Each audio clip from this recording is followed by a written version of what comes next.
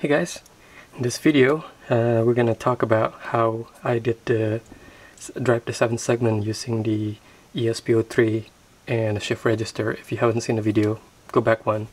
I did a little demo there. But uh, this video is about the circuit. If you are interested in replicating this and learning and making other things, it doesn't have to be driving a 7 segment. You can drive anything you want. And so first, let's talk about the circuit. So as you can see, uh, I have an FTDI. This is a 5 volt FTDI. And that's the ESP. Oh, by the way, th this thing is so tiny. This is the original um, ESP01. And this is the ESP03 I just recently got. It's almost like half the size. It's like almost the size of a pencil eraser and definitely smaller than a you could hide it underneath a uh, a battery a, a, a, a double A battery so anyway pretty cool. Um, I saw I, you have to uh, if you get this you have to solder your own leads. And I don't know how well you could see this. I might do another video where I solder this. I just solder uh, little wires uh, left over from LEDs that I've cut from my LED cube. So I save all those little snippets of uh, uh, wires and I solder them here one at a time. It took a little time but it wasn't that hard. Anyway so uh, let's talk about the circuit. Let's go from left to right. Um, this is the uh, FTDI, that guy over there. And he's only of course needed to, so we can put code in there. Once the code is in there, we don't need this anymore. And then, uh, so that goes to the PC. You can use CoolTerm, you could use my Lua um, editor, I mean Lua uploader, at um, Pete Scargill did create a very nice serial terminal, much more elegant than mine, a lot more features than mine. But anyway, so from here you uh, hook up the uh, TX from the FTDI into the RX of the uh, ESP. There is a uh, level shifter because my FTDI is a 5 volt FTDI. Um, so that's a 1K over here and a 1.8K over here that brings this about 3k I mean 3 volts here. So the 5 volts coming here is converted to about 3 volts over here. That seems to work for me. Other people uses different values but this is the one that works for me. So uh, the uh, on the other side I do not put anything because this is 3 volt coming out. And the FTDI apparently is tolerant enough that it will take the 3.3 and treat it as if it's a 5 volt signal uh, there is no positive in here because the positive that's coming out of here is 5 volt and both this and this and this I connect them all to a 3.3 volt powered by this uh, I think I use this one UA78M33C basically a 3.3 volt voltage regulator. Um, I think mine is like uh, 1 amp but about 500 milliamp is about all you need maybe a little less even but uh, yeah 5 volt coming in here on the left side. Yeah basically coming in on the left side here is the input. The middle is the uh, ground and the right side is the output. That's 3.3 so that's that.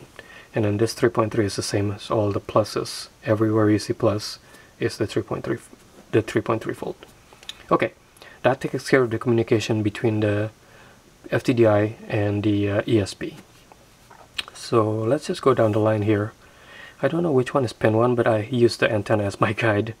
So leftmost is ground. This is just power. I think the power is right here and right there. It powers the whole thing. And this one is not connected. We already talked about that. It's important not to bring the reset. Um, so the reset is positive. Yeah right here. I I have little tiny wires. These guys are kind of messy so I use again remnants from my LED cube so that's um, preventing from preventing it from resetting itself. This is the enable, I think CHPD, I'm not sure what it stands for, but that enables it.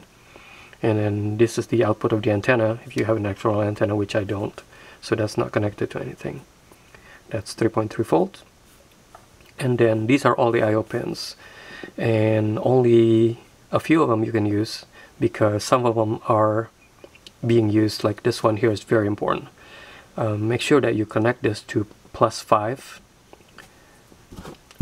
that's this one right here this white one right here. I have it connected to plus 5 right now.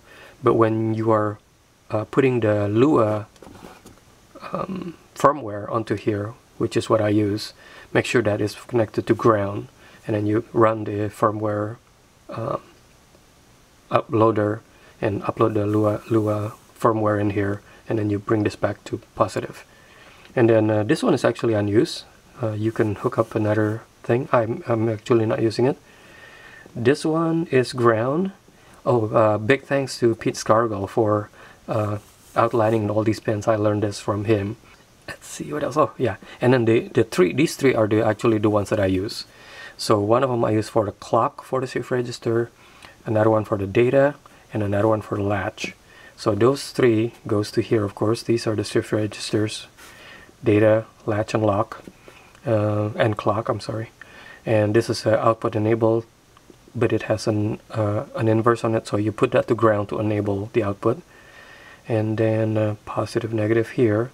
And then the rest of them are actually the data spec uses Q0 whatever, but I use this, my convention is basically segment A, B, C, D, E, F, G, and then the decimal point. So these labels are for those. So basically, I, this is how I hook them up. You know, all these outputs from the shift register goes through all the inputs of the LED uh, 7-segment display, which I do not have the specs for because I just found this in my bin. No idea which kind it is, but you could find similar LEDs, I'm sure. So that's that. And then a little bit the table again. Huge thanks to uh, um, the team at uh, uh, NodeMCU. They are they've done a fantastic job with this firmware. I really enjoy using it because unlike the AT command, you actually write your whole code in here, so you don't need the Arduino, and it's interpretive, interpreted, so you can try commands, you know, like print and stuff. I'll, we'll talk about more more that when we talk about the code. But anyway, these are all the pins uh, that I got from the documentation. So that's the zero, the actual ESP03 pin is here, but within the code, these are the numbers we use. And we have one, two, three, four that we can use. One, two, three, four that we can use. Again, this one has to be grounded for whatever reason, I'm not sure why, but you have to ground that. And then this one you can use after you burn the firmware but make sure that when you turn it on this has to be high and afterwards you can do whatever you wish with it but uh, at boot time if this is ground it thinks that you are trying to burn the uh, firmware. So I think that's everything to talk about here. Let's look at some code